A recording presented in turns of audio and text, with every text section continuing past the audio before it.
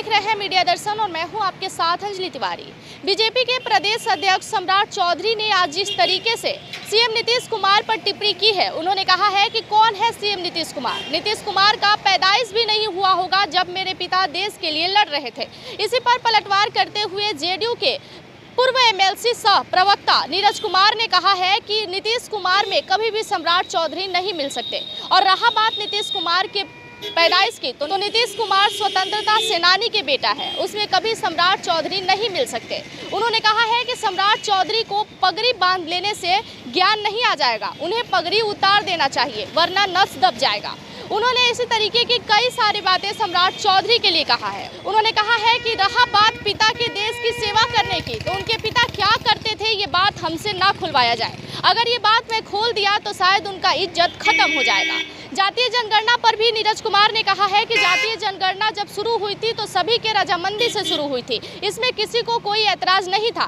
BJP जो हिंदुत्व का नारा लगा रही है और ढोंग कर रही है, कहीं उनकी सच्चाई ना खुल जाए, इसीलिए उन लोगों को जातीय जनगणना से दिक्कत है। अगर उन लोगों को जातीय जनगणना से इतना ही दिक्कत है तो वो अपने जात का टाइटल क्यों लगाते हैं? और फिर भी इस पर ऐतराज जताते हैं। जरा सुनिए कि नीरज कुमार ने क्या कुछ कहा है। डेटा को प्रिजर्व करते हुए यह कहा है कि आप जो जाति गणना है, उसकी प्रक्रिया पर तत्काल रोक लगाइए और इस संबंध में अगली तिथि को सुनवाई होगी। जाति गणना राज्य सरकार के, देश के, भीमराव अंबेडकर के बनाए संविधान के तहत यह अधिकार प्राप्त है और इसका एहसास विधानमंडल के तमाम राजनीतिक दलों को था।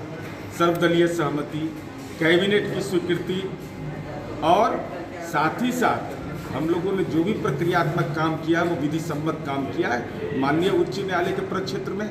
लेकिन राजनीतिक संदर्भ में अगर इसकी कोई आलोचना करेंगे तो मेरा तो सवाल सीधा है कि मंदिर में कितने लाउड स्पीकर गिने जा रहे हैं? मस्जिद में कितने लाउड स्पीकर लगे हुए हैं? ये गिने जा रहे हैं। और आदमी की गणना करने से परेशानी है। और नहीं तो पिछड़ा वर्ग विभाग का औचित्य क्या जरा हमको समझाए कोई?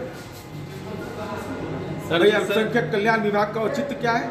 जब आप गणना ही नहीं करिएगा तो लोगों को जानकारी ही नहीं मिलेगी।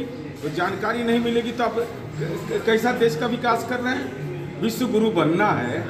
आप प्रधानमंत्री का जात बता दीजिए फर्जी। ये अति पिछड़ा जाति के हैं। तो, तो जाति गणना कराएँगे पकड़ेंगे। और ये अधिकार है। माननीय उच्च न्यायालय इस पर जो भी निर्णय लेगा वो मान्य होगा। लेकिन हमने तर्क सम्मत और विधि सम्मत काम किया है। जिस समय जिस समय आपके साथ में जो वो विरोधी दल थे और उस समय वो जाति गणना के विषय में आपके समर्थन में थे और आज वो अचानक से वो विरोध क्यों कर रहे हैं? भारतीय जनता पार्टी का प्रोफ़ाइल निकाल लीजिए। कितने बेसा की सूची जारी किया उसमें जाति लिखा है। देख लीजिए निकाल के वो दिखाइए आप लोग वीडियो। कि देखिए बीजेपी को जातिगत जनगणना से तो बहुत परहेज है लेकिन दल में ही लिखे हुए हैं। कि सम्राट चौधरी जी कुशवाहा संजय जायसवाल जी बैस तो क्यों लिखते हो? हिंदू लिखो। हिंदू लिखो। हिंदू लिखो सीधा। हिंदू भी नहीं लिखते हो तो गोत्र भी लिखो। अगर जात लिख रहे हो तो गोत्र का नहीं लिख रहे हो। गोत्र लिखो कौन गोत्र का कौन व्यक्ति है? यही है पाखंड। और भारतीय जनता पार्टी के प्रदेश अध्यक्ष सम्राट चौधरी जी ने कहा कि सरकार ने तैयारी नहीं की है। अरे भैया पगड़ी बाँध ली हो क्या? पगड़ी बांधने से क्योंकि पगड़ी आपका अछूत है। वो पगड़ी में जब में आपने देखा नहीं है कि आपका जो ब्लड का सर्कुलेशन वो प्रभावित हो रहा है तो ऐसी स्थिति में राज्य सरकार ने सर्वदलीय सहमति लिया था। तो इसका मतलब कि सम्राट चौधरी को ज्ञान है, संजय जायसवाल को ज्ञान नहीं है? अज्ञानी बता दिया, बताइए तो। सुशील मोदी रोज दावा कर रहे थे कि हम भी इसके पक्ष में सुशील मोदी अज्ञानी है। ये तो जैसे राजनीति होता है कि अगर आपको ग्लूकोमा हो गया तो एक आई ड्रॉप लीजिएगा। आपको मोतियाबिंद हो गया तो एक आई ड्रॉप लीजिएगा। ये ऐसा राजनीति का व्यक्ति प्रदेश अध्यक्ष सम्राट चौधरी ने कहा है कि हमारे पिता जब राजनीति में थे तो नीतीश कुमार का पैदाइश भी नहीं था। मत बोलने के लिए कहिए। सेना के बारे में बोले हैं ना?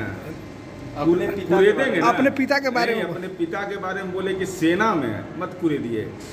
खुलासा कर देंगे थोड़ा सा थोड़ा सा। पगड़ी उतर जाए। थोड़ा सा पगड़ी उतर जाए। आ जाए उनका कहना है कि जब हमारे पिता राजनीति में थे तो नीतीश कुमार का पैदाइश नहीं था। जो कहा है अरे नीतीश कुमार जी जी साइंस कॉलेज में पढ़े हैं।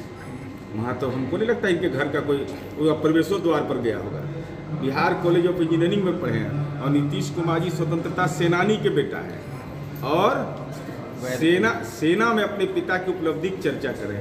छेड़िए मत सम्राट चौधरी छेड़िएगा तो बहुत महँगा होगा। आप अपने पिता का एक के सपना पूरा करिए।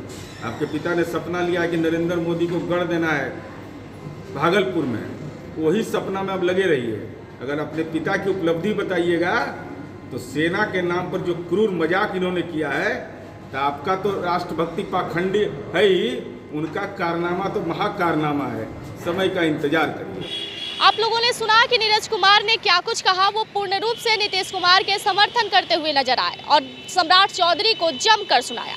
अब देखना होगा कि इनके बयान पर सम्राट चौधरी क्या कुछ कहते हैं। धन्यवाद ऐसी तमाम बड़ी खबरों के लिए जुड़े रहिएगा हमारे साथ।